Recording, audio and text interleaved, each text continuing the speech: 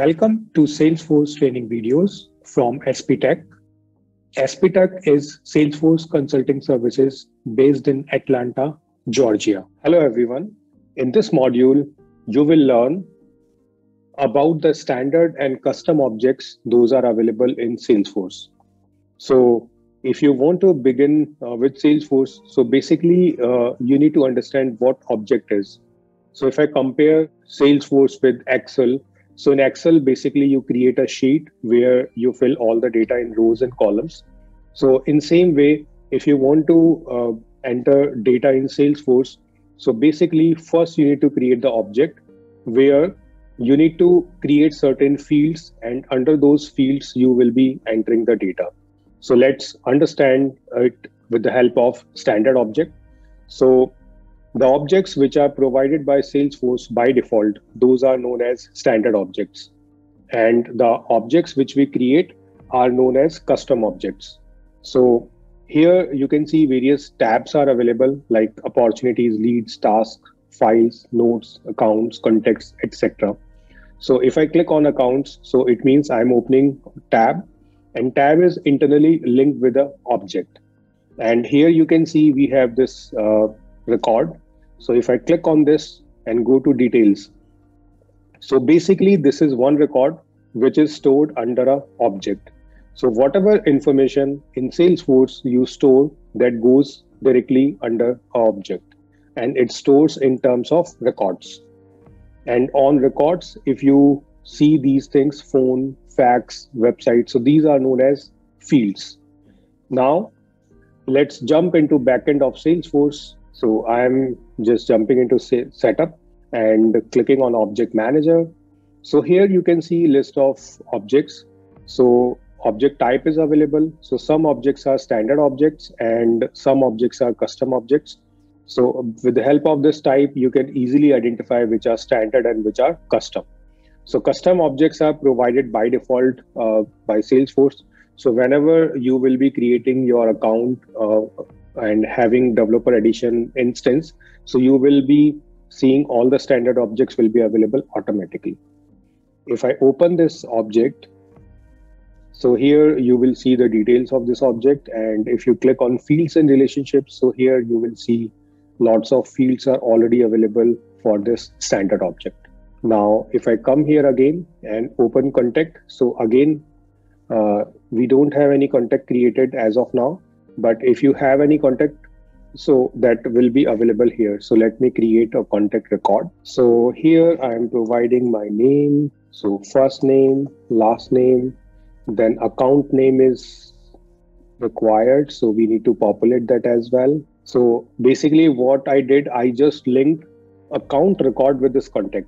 So this we will understand later on like how these two objects are linked. And i'm clicking on save so here, if I click on this contacts again, so you will see one contact. If I open this, go to details. So again, you can see this is contact record where you can see various fields like phone, mobile, email, reports to title, lead amount. So all these are fields. And collection of fields all together creates a record. And all the records are stored under object. So this way, I hope you understood how standard objects are working. Now, if there's a requirement, if there is a business use case, uh, like you need to create one net new object. So that object will be known as custom object. And you might be wondering like how I can create my first object. So it is uh, pretty simple and straightforward. You just need to go here under object manager and top right corner, you can see a button that is create which will open a pick list where two options are available custom object and custom object from spreadsheet. So if you have a spreadsheet where you have uh, columns already created so you can import that. But if you want to create it in salesforce manually so you can select this option custom object. So i'm going to create a custom object and naming it as employee. So here you need to understand this as well. So object label will be employee plural label. So it is also important. So if i take you here so you can see all the tabs are having plural labels like accounts contacts campaigns test dashboards So this plural label will be used by tab automatically. So object label will be employed. And if you create tab for that object so that you can place it on any application so there you will be using this plural label. Then object name. So this basically uh, also known as api so when you will be using this object in your code so you need to use this unique name that is object name and it is known as api as well. And if you create any custom object, so it is all automatically appended with underscore underscore C. Then here you can provide any description. So this is a custom object which will record employee related data. Then another thing which is important is record name. So this is a field which is created automatically whenever you are creating any object so here we have two types. One is text and one is auto number.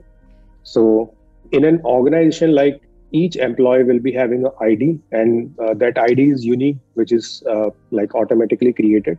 So if you want to have that scenario in Salesforce, so what you can do, you can choose data type as auto number and here you can uh, provide display format. So here you can type E hyphen curly braces then 0000 curly braces closed.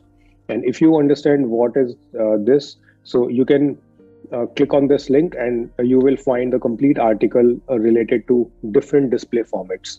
So you can go through with that and accordingly you can provide the display format. And here you can provide the starting number. So first employee record auto number will be 0001 and here i am relabeling it as employee number then these are some optional features that we will be enabling later on as and when required some features are already enabled so you can leave it as is then at the bottom you can see this is important launch new custom tab wizard after saving this custom object so if you want to access this object so uh, you need to create its tab because without creating tab, you won't be able to access the object from the UI, right?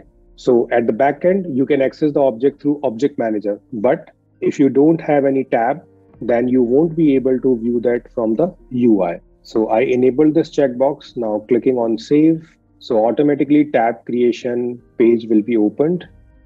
So what I'm going to do, I'm going to select this tab style. So you can select any tab style from here. And uh, if you want to provide any description, so this is a custom tab, then click on next. Now, if you are creating a tab, so you need to add this tab to profile as well. So profile basically provides permission to users uh, what they can access and what they cannot.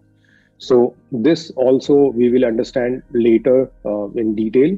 So as of now, you can see here we have two options, apply one tab visibility to all profile and apply a different tab visibility for each profile. So I am uh, selecting first only and three options are available, default on, default off and tab hidden. So if you choose default on, it means your tab can be visible here. If you choose default off, so in that case, what will happen? Your tab will be available here in case of default off, right? So these all are tabs. If I want to search for accounts, so accounts tab is available here. And if you choose tab hidden, so you won't be able to view your tab. It is hidden. Uh, so uh, these three options are available.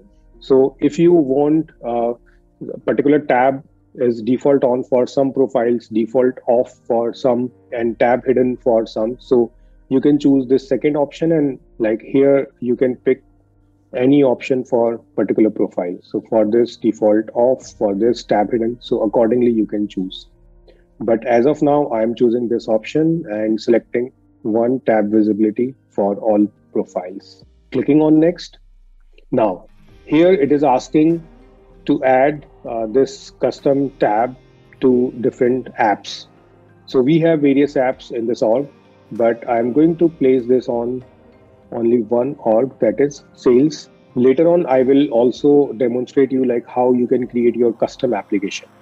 So here you can see again, I placed uh, this tab on sales application only. And I'm going to click on save. So right now we are on sales application. And if I go to more, so you won't be able to see employee tab, right? And here, uh, if I come back, so you can see this object is created. So let me just refresh it from the UI so that you can view the tab. Here it is. If I click here, so employee tab will be open and here we will be able to create the records. Before creation of record, let me jump to object manager where this employee object is available. So this is the API name, which is appended with underscore underscore C. Singular label is the label of uh, this object and plural label we are using as a tab.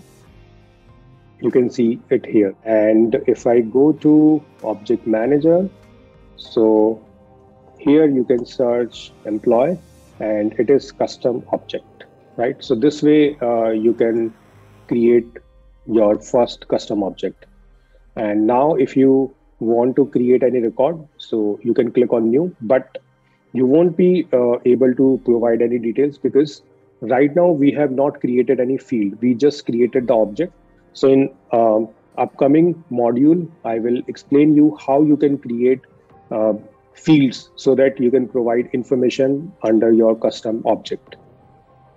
Thank you. If you are based in USA and looking to start or advance your career with Salesforce, please reach out to us at hr at the rate sptechusa.com. Please subscribe to our YouTube channel for more Salesforce training videos. Thank you.